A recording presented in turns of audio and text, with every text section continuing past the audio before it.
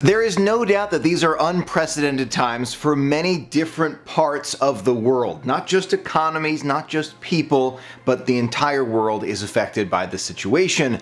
And one industry in particular is really affected by this. It's the cruise industry. During this situation, there was more than one cruise ship that was stranded at sea. The reason for this, someone on board would get the virus. Someone had it, spread it to others. It started to spread extremely rapidly because it's very close quarters on these ships. And very early on in this situation, there were there were more cases on board a ship than most places on land. So it goes to show a lot of cases were on one or two or three different ships all around the world. And as these cases started to develop, countries would not accept these ships to make port where they are. So if it's Japan, if it's China, if it's Korea, wherever it is, or even here in Florida, they would not allow the ships to stop here because the risk of infection to those who are living on the mainland is too great. Now I've made a video all about hygiene at sea. You can find it right there at the i button. Super helpful tips that I think the cruise industry should really consider as they begin to think about opening cruise ships up in the future. Now let's talk about that future a little bit. For a little while we've been thinking about the cruise industry and how this is really going to change cruising a lot for years to come.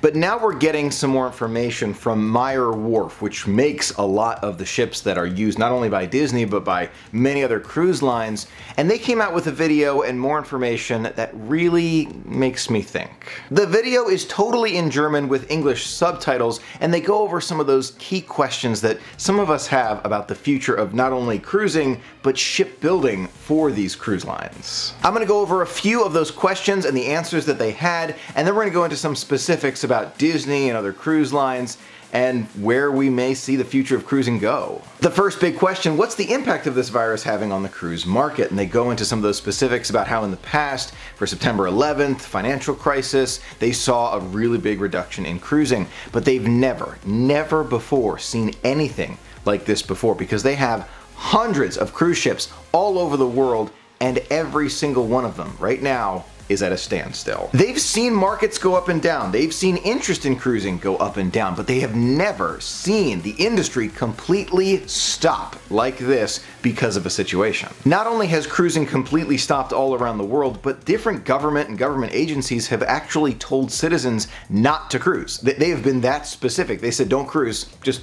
just don't cruise. So that is going to have not only an impact now on the cruising industry, but think about what kind of impact it will have for two or three years. Now, as you would guess, the thing that brought me to this video were those new cruise ships that Disney has ordered. We're not so sure about the future anymore, but they gave us a little bit more insight about the future, the future of orders from Meyer Wharf. Based on some of their research, they have found that market observers expect between 50 to 75% resumption of global cruise ship fleet by the end of 2020. So they didn't really answer the question about future ships, but they answered the question about current cruising. So let's pretend for a moment 50 to 75% of cruise seats that are usually filled on board. So let's just take Disney Cruise Line for a moment. Let's pretend they're always 100% full. Not the case, but let's pretend for a moment. Let's say they're 100% full all the time. Now market observers think that they'll be between 50 and 75% full until the end of 2020 at the very earliest. On that same note, Meyer Wharf indicated that they don't believe that the cruise line industry will be profitable in 2020 at all, totally understandable. A break-even point may come in 2021 just because of the financial losses, and in 2022 and beyond, they believe the cruise industry has the potential to be profitable again. But that would mean years, years of very, very difficult times for the entire cruise industry. That also means that they do not expect new orders for cruise ships until the end of 2023 or 2024. Does that mean orders that are underway or orders that are under contract? They, they weren't specific. They didn't answer the question, probably because of the contracts, but they didn't say whether or not new ships that are either being built or have been planned to be built have any kind of delay on them. Even though they didn't say it specifically, we can safely assume that that means that the future production of some of these ships are not only going to be slowed down, some of them may be postponed for years to come. Now from what we understand, the Disney Wish is already under construction, or it was before all of this started. Now this may have changed, maybe the parts moved around, perhaps they kind of refigured everything, it's no longer under construction, I don't know, we don't know right now because what's happening at Meyer Wharf and between Disney, we have no idea at this point until we get official information, but from what we've been told, it's already under construction. It was originally scheduled to be handed over to Disney at the end of 2021. Do I still believe that the Disney Wish is going to be under construction and going to be built in a couple years? Yes, I do. Do I still think it's going to be delivered at the end of 2021? That is much more difficult to predict. Disney is an extremely resilient company. They are going to make it through this, no doubt about it. It's a matter of timelines. Do they want to kind of continue with that debt? What does the contract look like with Meyer Wharf? All these different questions have to be answered for us to know whether or not the Disney Wish will come maybe in 2022, possibly 2023. I would imagine we're going to see it, but it may be delayed a little while. Now that's the Wish, but what about the other two ships that Disney had scheduled and has a contract with, I'm sure with Meyer Wharf?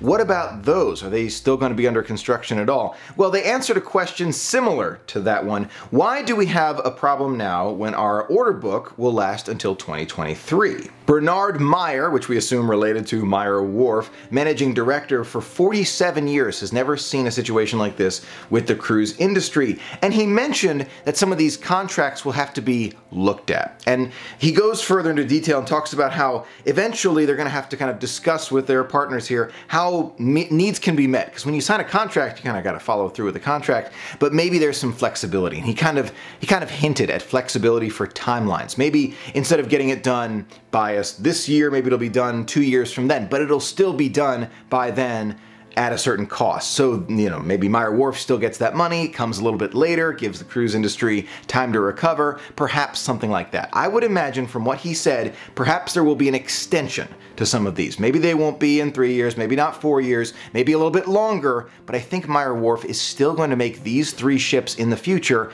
It will just take more time. As a final note to the video, Bernard Meyer mentioned that he believes that the cruise industry will not make a full recovery to a point where they were now in, in 2020 or 2019 for 10 years. He thinks it will take that long for the cruise industry to recover. Now that does sound a little gloomy and doomy, right? It sounds like, oh, that doesn't sound good, Michael, 10 years, I don't like that.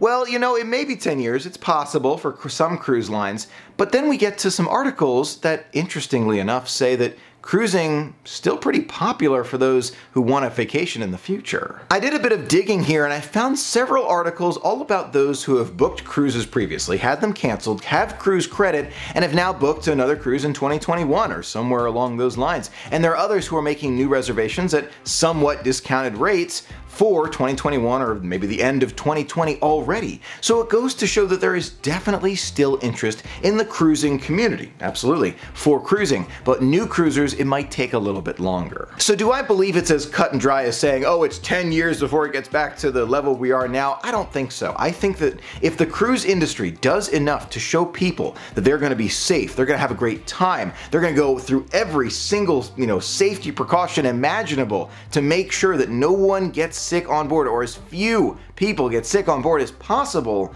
I think we're going to see a turnaround much faster. But I think that some of those hygiene methods have to be followed. There are some things that they have to do to re-inspire people to feel that confidence of going cruising again. Now with all of that being said, I personally am looking forward to getting back on a cruise when all of this is said and done. I love cruising, you know I do. I'm looking forward to it. I'm going to book it as soon as all of this is over. Those are my thoughts. I'd love to hear from you. Do you think the Disney cruise ships will be delayed by a few years? Do you think the cruise industry will take 10 years to get back on its feet? Let know in the comments below. I'd love to hear from you. Thank you so much for being a part of the magic with me today. Until next time, have a magical day.